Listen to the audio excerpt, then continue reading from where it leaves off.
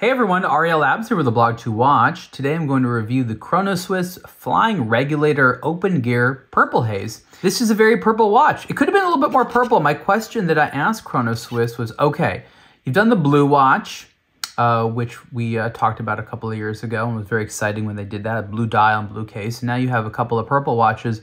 What's up with the, the black strap? Why no purple strap? I guess they didn't have one. Maybe they will. They have a blue strap that matches the blue versions of these watches um, but no purple. So the first thing that I think you should do if you get one of these purple haze watches is get a purple strap. Don't be purple shy. Uh, purple is one of those colors that I discussed as being amongst the next popular men's hues. It's not going to be as popular as blue, probably because you can't get away with wearing purple every single day, but it is a color that is coming into its masculinity in the modern sense.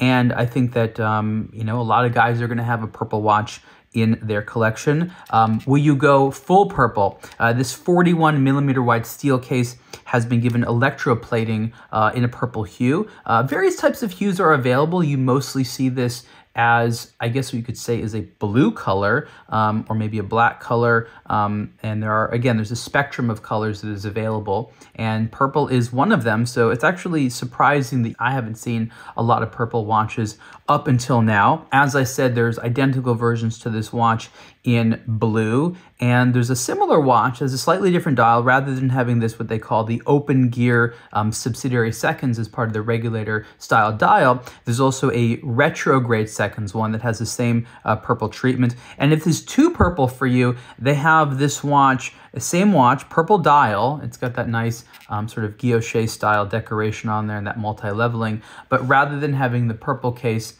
it has um, a black case, I believe, which again is for the those that just feel that's too much purple in their life. For me, go all the way purple.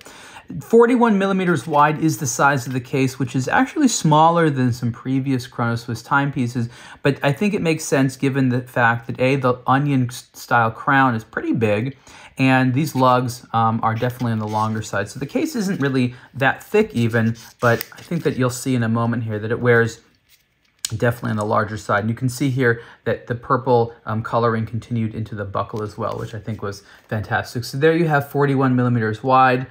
Not, no, not the thinnest watch in the world, but I actually found this to be a great size and I think that it looks good. Um, I would definitely even wear a larger one just because I like that. But I think for a lot of people who are shy about these designs and feel like, oh, that's going to be too big, they'll be surprised here.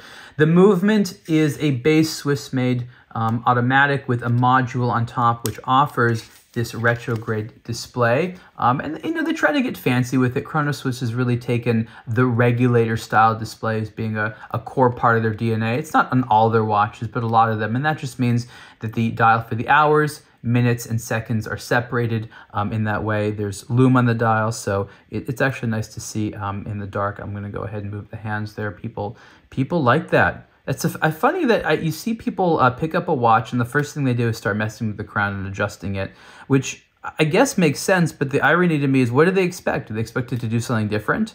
Um, and then sometimes they'll pick up a watch is broken. They'll discover like, aha, I discovered this watch is broken. Everyone's like, yeah, we, we knew it was broken.